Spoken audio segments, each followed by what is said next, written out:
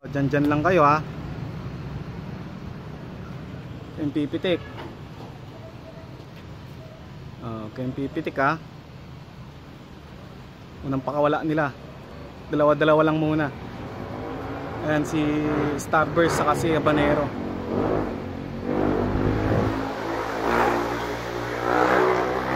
Tol! Ay, kasama natin yung mga ano natin oh, mga batang pansir. Ayun kanina nagpakawala tayo ng mga young bird natin. Dalawa yung sinubukan natin pero kasamang paalad nag nag fly away yung dalawa. Yung isa bumalik naman agad.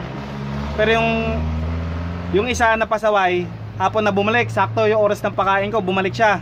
Kaya may importante din yung oras ng pakain natin. So pakita ko sila ngayon ng mga pasaway. Magkatapat na yan.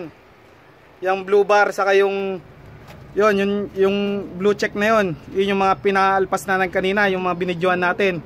Pumitik nga pumitik nga yung dalawa. Pero swerte pa rin tayo bumalik sila dito sa loft natin. Ayan si Habanero yung lumit, yung, yung nag-fly away nag-overfly kanina. Saka itong si Starburst. Ayan sakto oras ng pakain dumating tong si Habanero.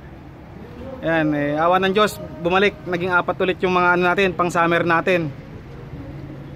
Swerte natin, bumalik, bumalik sa oras ng pakain. Kaya maganda rin yung consistent na ano, oras ng pakain.